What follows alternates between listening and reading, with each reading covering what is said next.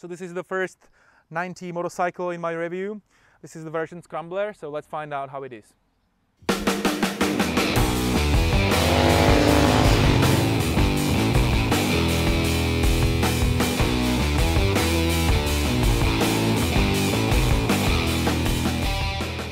BMW R nineT Scrambler is a cheaper version of the nineT, the classic, you know, very nice motorcycle. You will save about 2.5 thousand euros, depends on your market.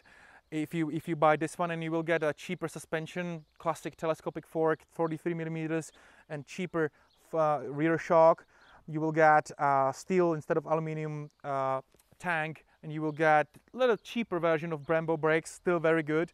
Uh, you know, three parts instead of four parts frame, which is lighter a little bit. That, that's that's maybe an, an, advantage.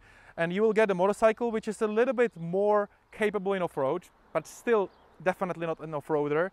And the motorcycle which is higher, 80, uh, 820 millimeter seat height, it's something which I can operate already because the original nineT, it's I think too small for me, 193 centimeters. You know, this here I feel great.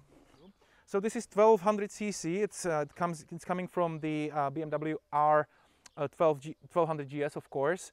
Uh, together with the um, uh, this bike is from the model 2010 to 2013. So it's the last model before the you know liquid cooled came on the on the scene. Uh, so it's still oil and water oil and air cooled. It has 81 kilowatts and in about 7,750 RPM and 116 newton meters in about 6000 RPM. So the engine is still over squared, of course, and it, the best it has between 6000 to 8000 RPM. It's very fun to ride it. It's kind of vibration less and the gyroscopic effect is not that big. I can show you. it does something, but it's not it's not like Moto Guzzi or the older BMWs. Also the shaking with, with in the start, some some kind of, but I would I would even like to have a little bit more, you know, the character. Uh, one thing which I didn't tell you is that if you buy the Scrambler, one very good thing is that you will get Akrapovic as the standard with a nice sound. And these two pipes, like from the design point of view, they look amazing. So from the comfort point of view, I told you like 820 millimeters seat height means that suddenly I can operate this bike, I can ride it and I feel nice on it.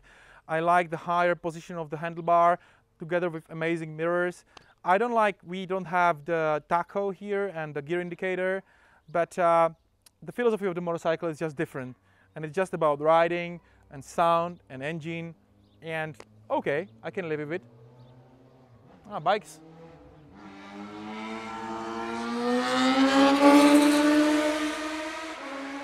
Yeah, so uh, this is unfortunately the style of riding in the Czech Republic sometimes in the villages, and so this wasn't a good example. We ride safe and slow. So I'm now sitting on the R nineT Scrambler, and uh, it's very it's, it's a big pleasure. Uh, first of all, uh, the the engine emotions kind of you know when you start it, uh, it shakes just a little bit, a little bit, yes, but uh, it's not definitely like on the older like R uh, GS 1000, you know, 11 1150 or or on the even older ones of course this is kind of a very modern unit from 2010 to 2013 BMW uh, R12 1200 GS also the vibrations and you feel a little bit in the seat but uh, not much. In the same with the gyroscopic effect which again is, is, is, is a small one. It's way smaller than on the Moto, Guzzi's uh, I tested and I kind of, uh, you know, I'm, I'm the fan of the old fashion bikes and uh, which has their own head and all their, you know, kind of, I don't know, their wildness and, and unpredict, you know, that some, sometimes was unpredictable a little bit. And this is a very exact and modern engine. And uh, also, you know, in terms of sound, the sound is kind of uh, very similar to me to BMW F800 GS, which I owned for a year uh, this one is a little bit more, hmm, I don't know how to explain a little bit, but you know, hear for yourself.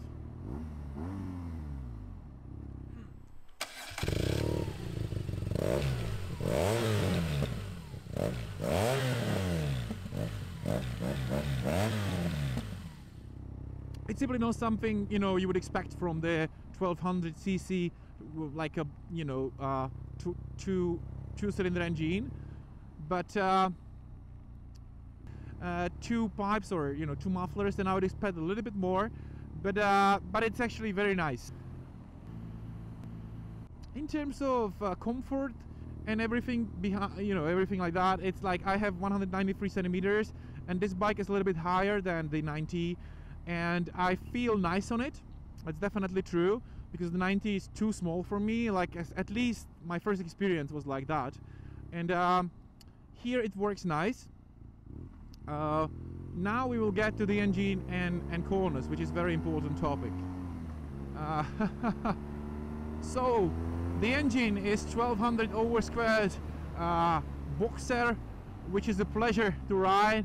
It's always great because you just know you know it's very nice to look at the engine from the third person view but also from the point of view of the rider.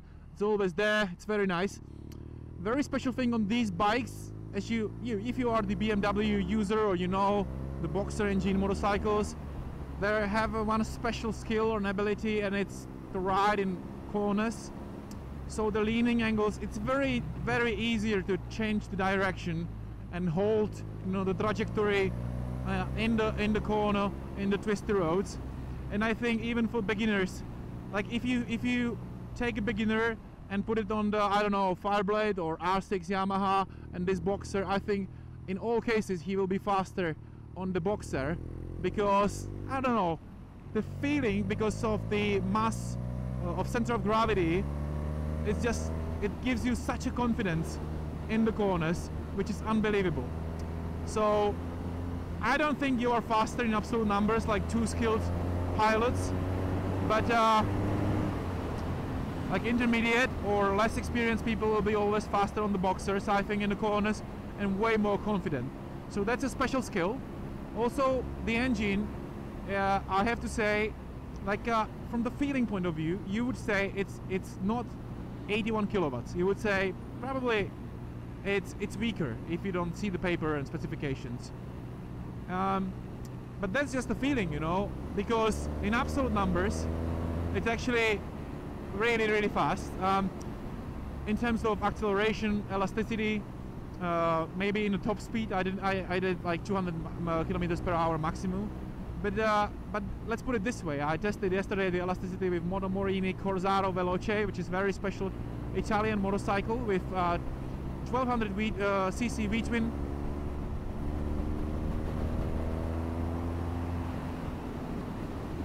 and uh, this bike like the Moto Morini had 140 horsepower and uh, 123 newton meters of torque. It's a very wild motorcycle without any assistance. And surprisingly on the sixth gear and fifth gear from 100 or 110 the acceleration on the highway uh, the BMW was always faster. And that's kind of you know surprise for me. Uh, again the corners this is really cool. You have the feeling really that you would scratch you know the uh, cylinder head covers which hopefully I will not. So corners and uh, speed of the engine is amazing. Uh, now here is the cheaper suspension as I told you. So here are uh, here is like more very basic basically telescopic fork 43 millimeters in the front.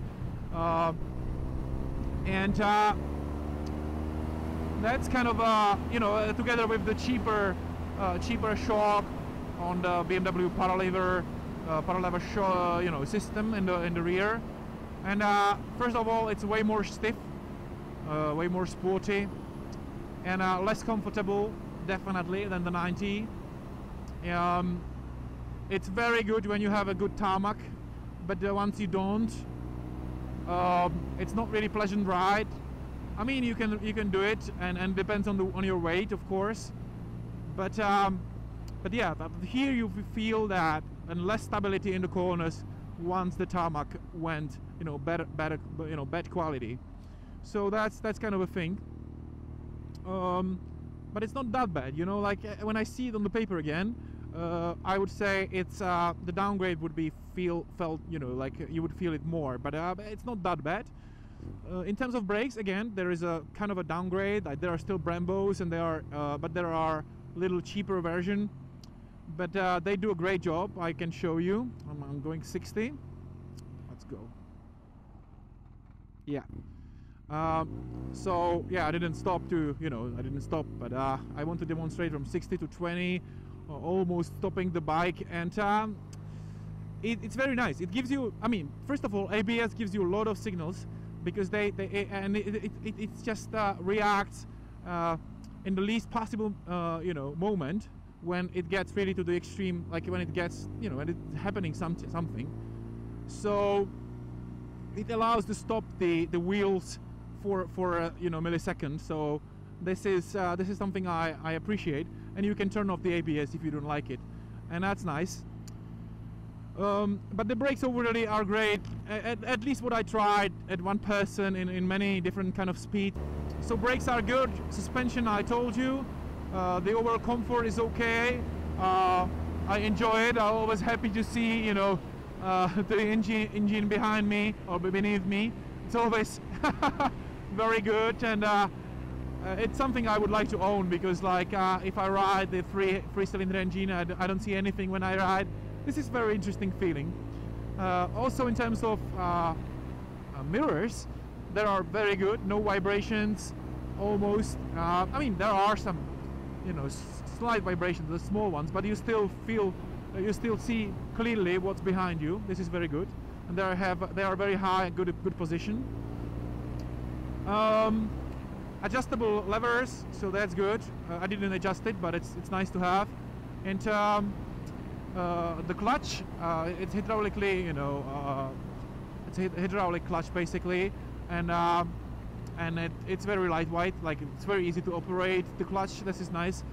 Um, gearbox, no problem at all. Very modern kind of feeling, and uh, from this point of view, no problems at all. At all.